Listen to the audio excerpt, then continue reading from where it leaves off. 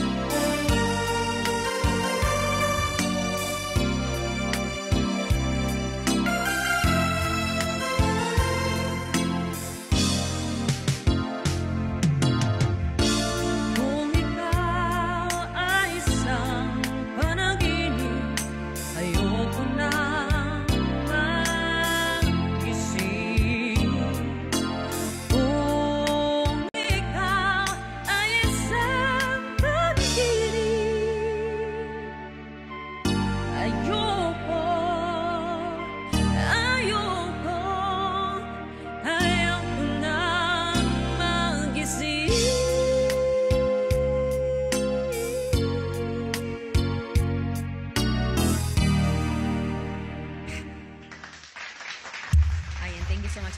Guys, request muna kayo. One hour pa tayo. Ano, gusto lang tayo.